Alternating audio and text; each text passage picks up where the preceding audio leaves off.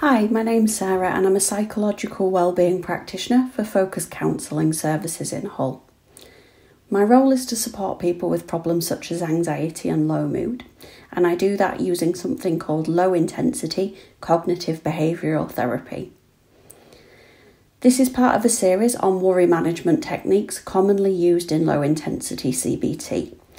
Throughout the series, we will talk you through the steps for worry management, which is particularly useful during the current pandemic. The first thing to look at is the reason why we worry. Worrying is normal, and we all do it from time to time to try to solve a problem. This is helpful if it's a problem that we can do something about, such as the car making a strange noise.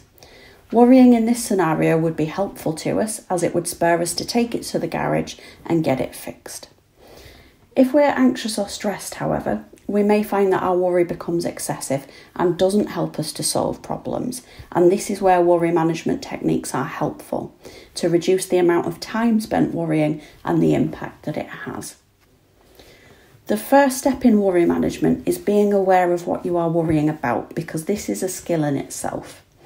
Then we need to be able to identify whether the worry is helpful or unhelpful before we decide what to do with it.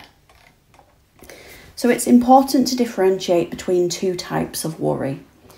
So, practical worries are tangible existing problems.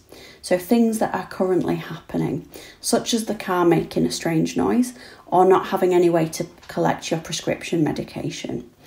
It's possible to solve these problems even if we don't know how we will solve them yet. So, worrying is helpful for these types of worries because it's our way of problem solving.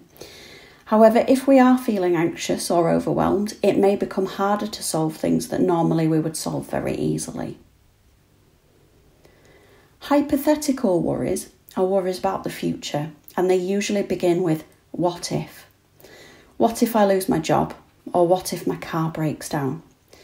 These are worries that are quite distressing in nature, and they tend to be things that might happen and might go wrong that we don't have any certainty or control over.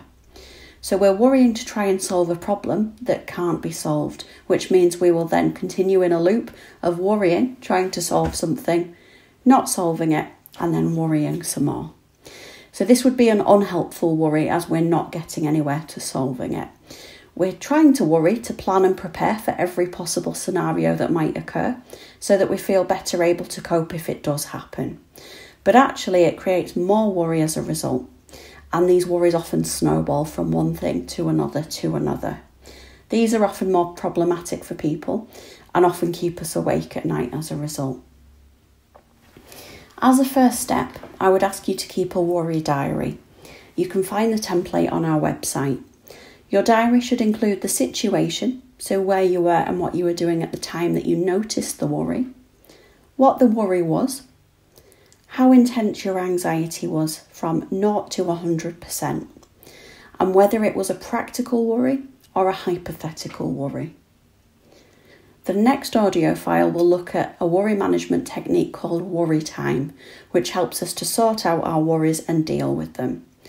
To follow, we will also look at problem solving, which is a great way of breaking down practical problems and making them easier to solve.